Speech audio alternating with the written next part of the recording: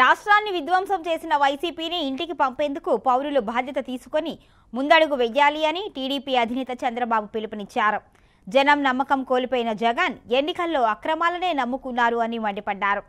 ఇక వైసీపీ ఎన్నికల కుట్రలను అడ్డుకోవడంలో ప్రజలు భాగస్వాములు కావాలని తెలిపారు.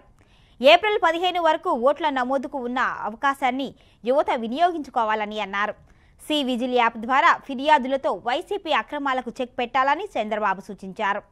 డబ్బు పంపిణీ ఓటర్లను ప్రలోభపెట్టడం ప్రభుత్వ ఉద్యోగులతో నిబంధనలకు విరుద్ధంగా పనులు చేయించడం ప్రత్యర్థి పార్టీపై తప్పుడు ప్రచారం చేయటం వంటి కోడ్ ఉల్లంఘనలపై ఫిర్యాదు చేయాలని తెలిపారు.